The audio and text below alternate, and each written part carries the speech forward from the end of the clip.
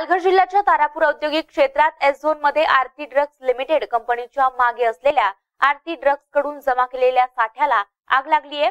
सकाळी साडे अकराच्या सुमारास ही आग लागली आहे. आगीत कोणतीही जीवितहानी झाली नाही. तीन अग्निशमन दलाच्या गाड्या घटनास्थळी आग विझवण्यासाठी दाखल झाल्या होत्या. आग विझवण्यात अग्निशमन दलाला यश आलंय. मात्र आरती कंपनीच्या गेटमधून पत्रकारांना आत जाऊ दिलं नाही. त्या दरम्यान आजूबाजूच्या कंपन्यातील कामगारांना बाहेर काढण्यात आलं. घटनास्थळी बोईसर पोलीस हजर होते.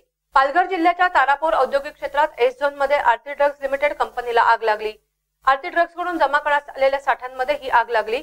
सकाळी साडे अकराच्या सुमारास ही आग लागली असून आगीत कोणतीही जीवितहानी झाली नाही. अग्निशमन दल आग विझवण्यासाठी घटनास्थळी हजर झाले. आरती कंपनीच्या गेटमधून पत्रकारांना आत जाण्यास आणि तसेच न्यूज कव्हरेज करण्यास मनाई करण्यात आली. आग विझवण्यात अग्निशमन दलाला यश आले.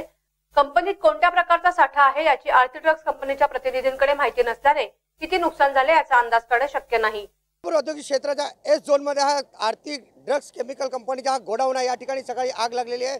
परंतु आगीमध्ये कोणकोणता केमिकल पेट घेत आहे याची माहिती कुठल्याही अधिकारीकडे प्राप्त नाही. या ठिकाणी आर्थिक ड्रग इंडस्ट्रीजचे काही अधिकारी आलेले आहे, परंतु त्यांना अद्याप माहीत नाही की या गोडाऊनमध्ये कोणत्या प्रकारच्या केमिकलचा साठा जमा केलेला आहे आणि बेकायदेशीर साठासुद्धा या ठिकाणी अवेलेबल आहे. या ठिकाणी जेव्हा तारापूर औद्योगिक क्षेत्राचे दमकल अधिकारी आले तर त्याने कुठल्याही प्रकारची माहिती देण्यात आलेली नाही.